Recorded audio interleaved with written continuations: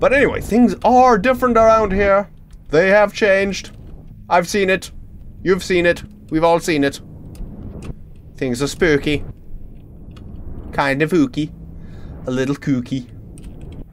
Smells like dookie. Hey, the amazing Rando! Watch Rando the Great construct sets with his very mind! What's up, rascals? As you can probably guess from the title, uh, there's more to explore in Tenement, so that's what we're gonna do. As it was pointed out to me by the Pinkest Piglet, you have to reset the game and then things will be slightly different. I should have known this because I've played enough Kitty Horrorshow games to know that certain ones react differently if you restart them. I mean, it's same thing with Anatomy, same thing with Seven Days.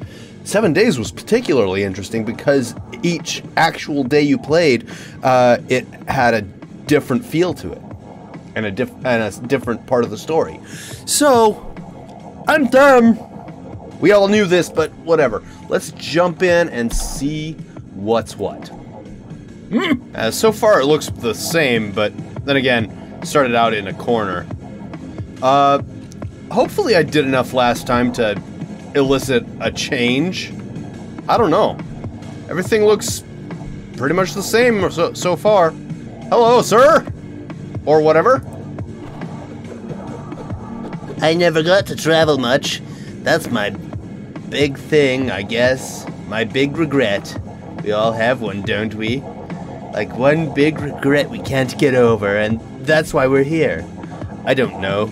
I'm just going off my movies and stuff. But yeah, like, I would have liked to, you know, living in the same town with the same rows and rows of cookie cutter houses, always night street lights never coming on, so they just stand there like pointless poles. It's mind numbing.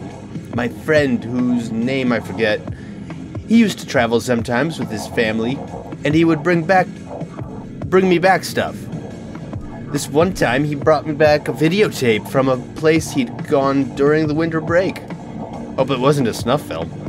He told me to watch it alone, so I did that night in my room, and it was this black and white video of a woman from the shoulders up. Only her eyes and mouth were empty. Like, no teeth or eyeballs, whatever. Just these black holes. Okay, so he gave you the ring. Ha Ah, I never did figure out what it was, and it makes me feel stupid and sheltered. It didn't matter though, because I stared at her, and that black, empty mouth contorting, I started to get the message. Like it was being rolled over my brain with an ink roller, and the language didn't matter because the ink would just fill in the cracks. Like she was talking about a tower someplace, under some kind of lockdown. It was so nice, I started crying. From then on, whenever I'd wake up scared and I'd yell out my parents' names, blah blah blah blah blah. Can't find anything like that in a small town. Okay. Nate! Alright, cool. So, I. I don't know, but I. I'm guessing that I haven't done any. I haven't done anything to actually get this to reset. Can we go in the theater?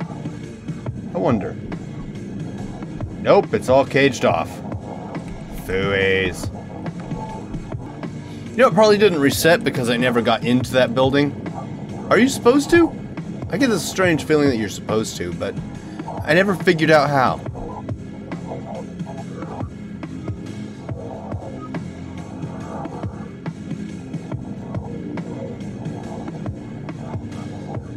I see. After I fell off the the uh, edge of the world, now things are slightly different. I don't know if that's what they meant, but yeah, this is definitely different than it was last time. Because I don't remember the red lights. There's this guy. I just wanted to get out. That was all. It didn't matter where I went. I just didn't want to be there anymore. I hated that place so much, and it hated me. You could tell. It hated everyone, I think. But people just lived there anyway, as if they couldn't do anything to change it. So many of the old buildings downtown were getting soft, filling with pores, hatching wasps, and leaking chemicals all over the roads. Everywhere you went, people just sneered and sobbed. If you didn't sneer and sob, you didn't belong. Fuck small towns.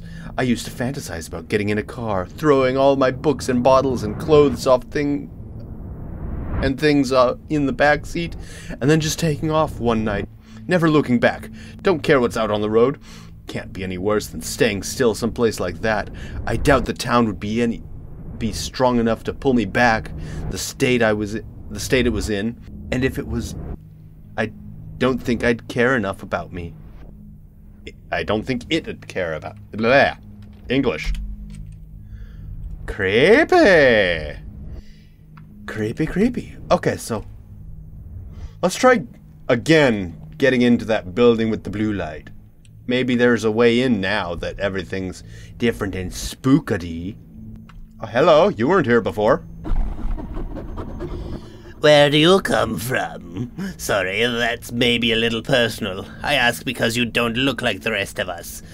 Uh, but also because I was going to ask if it had any basements. Where you come from, I mean. Like the town or the city. Basements fascinate me. They're like the ocean, you know? So depthless and unfathomable. And they're just right on there under our feet going down who knows how far. I don't know how anyone can walk past one of these stairways without being just absolutely desperate to go down and see where it leads. I don't just exactly. I did that exactly. I did just that. I did just exactly that one time. I remember I was going home one night. I didn't want to go home because my apartment was dying and in a lot of pain, so it was lashing out. So I passed by this basement staircase next to a storm drain in the streets. I'm on and I just go. I just go down not really caring what happens to me. I was just it was just the most wonderful thing I ever experienced. I remember feeling like the staircase was chewing me up, like I was being twisted and turned all around. Ooh. I think I've read this one before, but still. That was a fascinating story, Mr. Guy.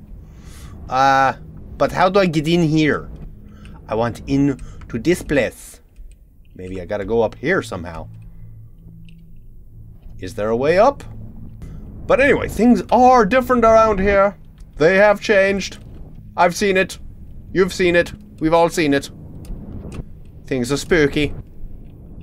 Kind of ooky. A little kooky. Smells like dookie. Oh. This is slightly different. Or is it? This seems familiar, actually. Like I've heard this version of it before. Yeah, I think I've heard this version of it before. Oh god, I don't want to. I don't want to jump down just yet. I want to find uh, Big Blue. You know that building with the blue light. I don't want to. I want. I want. To find that building first and see if there's anyone near it. And the and the. I want to read the marquee. The the the movie marquee. You know, the theater. Seven eclipses at once.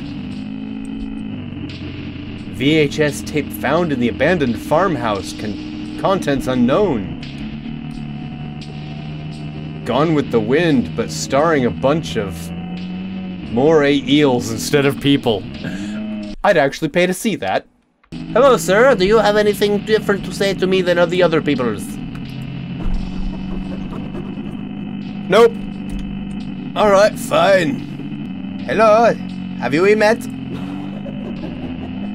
Ghosts! Ghosts! This building is full of ghosts! Yes, we've met. Boing! Into the starry void!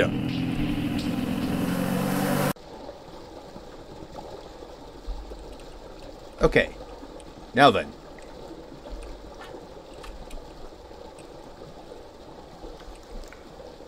Wait a minute. Not you. You. Not you. You. Yay. Oh! It's all bright and daylight now. I've never seen it this way before.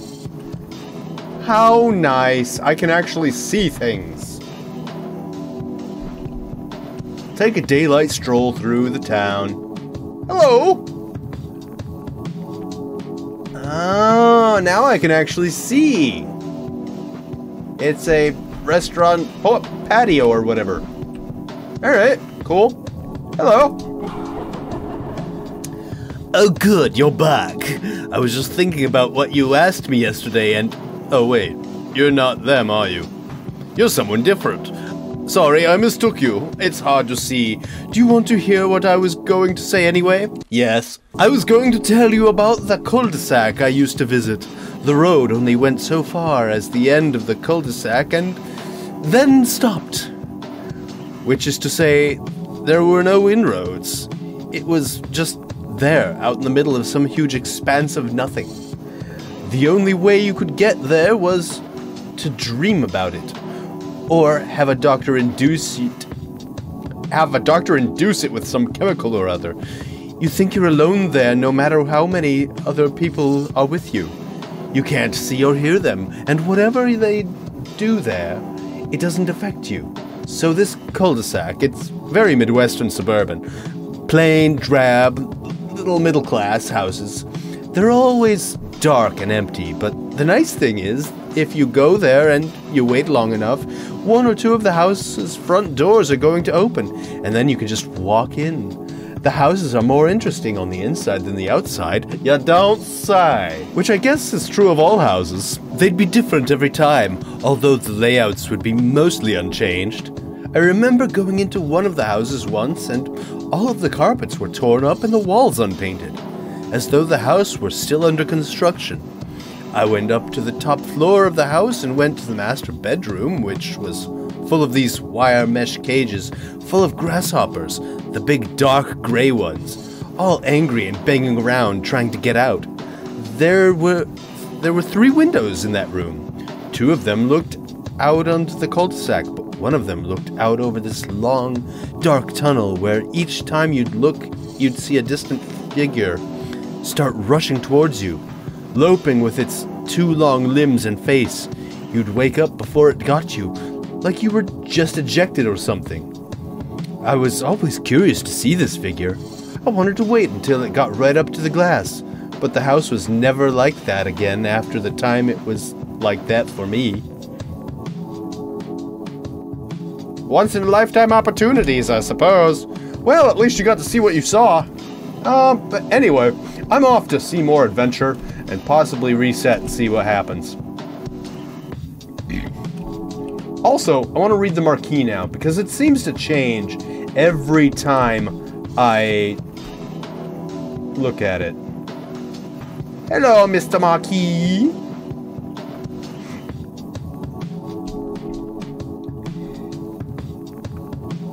The theater's exposed and beating heart. Motion pictures of wolf people screaming at things. Spines. Oh wait, is that... Oh.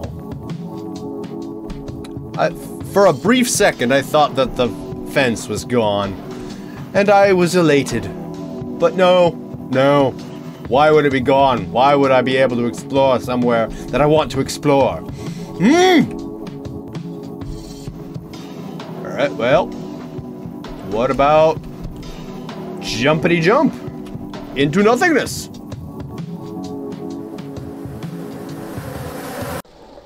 Do do do do do do. Strolling through the sewer like it's a, another funky Tuesday. I don't know. Do do do do. Come on, where'd that door go? There you went. Or walkway. Not you. This away. Then this away. Then this away. Will it change? I hope it changes. Oh. Back to dark and red. Alright. Reset! Ah, uh, back to this again? Is it just me or are the seams of the world getting a little more... Oh wait, no, that's just wires up there. Oh. That was a bit early, but whatever. Alright, so... How's it gonna look now? I want to see a different cityscape. Sort of. Not really, but still. Ah. This one's pleasant-ish. Alright. Up to the theater, please.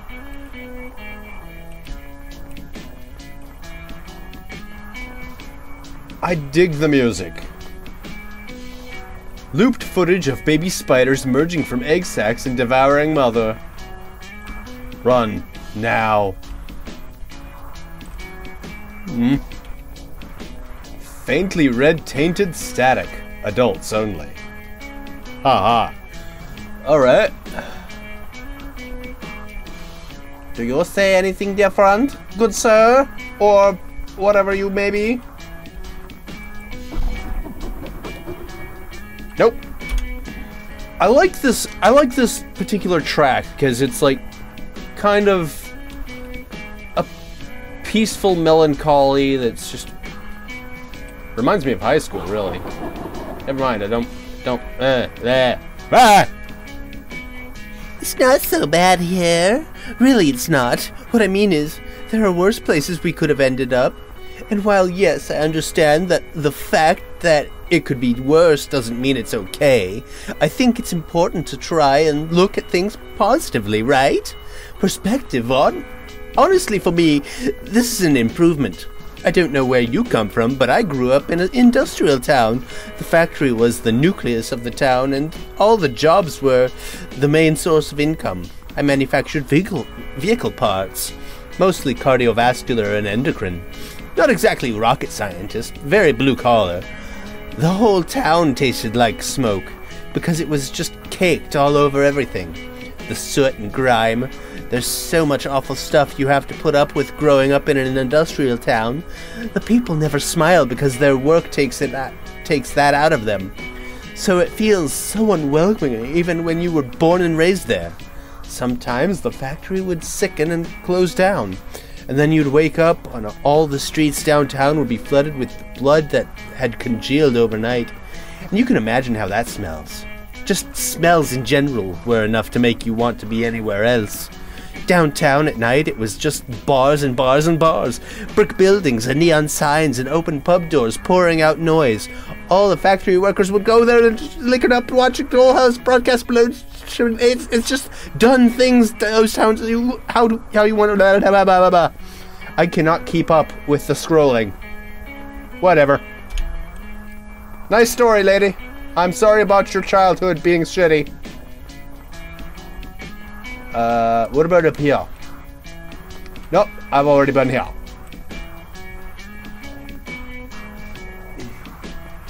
Time for another jump? Possibly a reset? Oh, that's a beautiful scape. I would call it a landscape, but it's not really land. It's a horizon, that's what that is.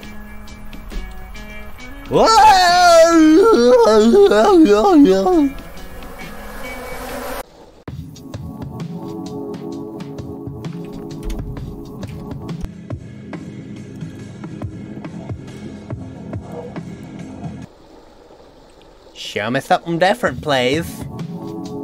No. Ay, ay, ay. Oh. This looks slightly different. It's a little more red. And scratchy. But the music is still cool. I like it. In a sort of I don't want to think about it way. Let's see what the marquee has to say this time. Uh, this way? Are you a new person? Are you gonna say something different? Nope. I've read that one before. Alright, so what does this say this time? Fevered visions of empty rooms. Sunday and end. Wow, suddenly I can't read. Sunday endoscopy marathon. Giant hornet slug versus rural midwestern town. That sounds like a slow crawl of a movie. Hmm. Fancy. I'm still curious about you, Blue Light. Ooh, look at the dead trees up there. Why can't I get up there either? I want up there. How do I get up there? Can I get up there? I want up there. Unfortunately, I don't think there's a way up there, but I want up there. It's mean. Don't show me things I can't see up close. That's just poopy.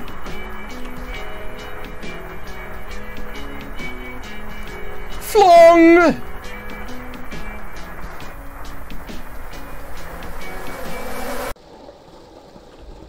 Alright. How is it gonna change now? Hmm? Not you. Ah, yes, you. I've learned to navigate these sewers way too well. What's it gonna look like? What's it gonna be like? Oh, you again. Reset! Oh. Things are looking a little sickly. Well. Okay, dokie. What about you? Do you have, tell a different story? Hey, I'm sorry. I'd talk, but shit. Are you feeling this? It's like, oh god, I don't know, but fuck. I can barely stand it. So heavy, burning. Feel like skin splitting or crackling, cracking. I don't know. God, it's bad. Never been this bad, I don't think. What did you. Hey, wait a minute. What did you. What did I. I didn't do nothing. I, I don't know what you're talking about, bro. What does the marquee have to say? Are all these people gonna have different dialogue now? That everything's kind of looking a little bit sickly? This entire universe is kind of looking mad and nerve endings are going all over the place. Well, the common theme in Kitty Horrorshow games is that the entire environment is alive, a living organism, and feeling pain. So, sure. Hello. What are you gonna tell me? Hey, are you. Do you feel this? I don't know, it's like something's wrong. Fuck my head. I feel so heavy. I'm not supposed to feel like this. I don't think. Are you feeling this too? I. I don't. Okay, everyone's feeling the weight of what's going on here, so that's that's interesting. I'm gonna get different reactions from different people, but basically the same sentiment. It hurts. It hurts. It hurts. I have a feeling that it hurts.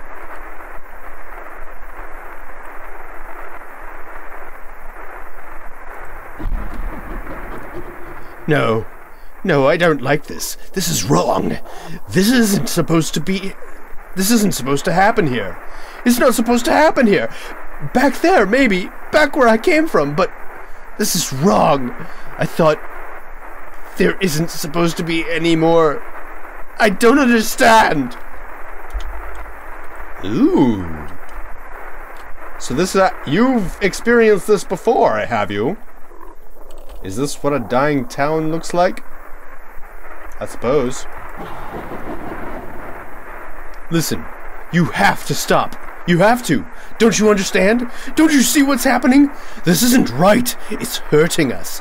It's sanding us down. You can't keep doing this to us. You have to stop.